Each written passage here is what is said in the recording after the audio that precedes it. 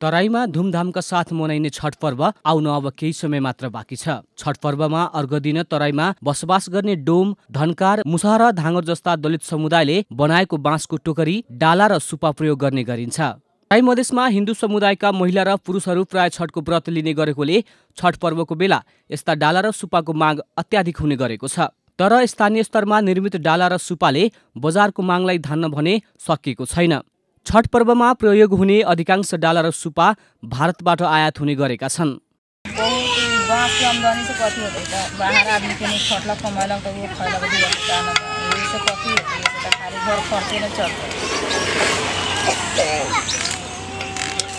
छठ पर्व स्थानीय दलितहरूका लागि आमदानीको एउटा राम्रो अवसर हो।